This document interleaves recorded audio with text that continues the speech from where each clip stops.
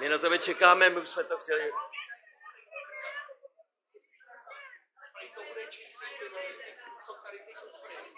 Tak ještě jednou. Je to, je to smyčka, jo.